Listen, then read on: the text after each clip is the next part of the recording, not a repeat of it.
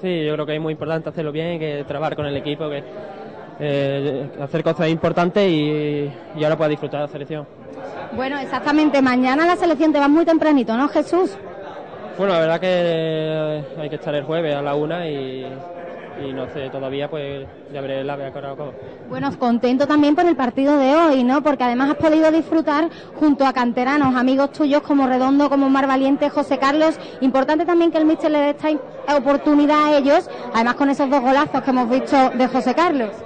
Sí, yo creo que es muy importante. Eh, están trabajando muy bien, están haciendo las cosas bien y están aprovechando muy bien las oportunidades y yo creo que es algo muy importante, cuenta mucho con la cantera.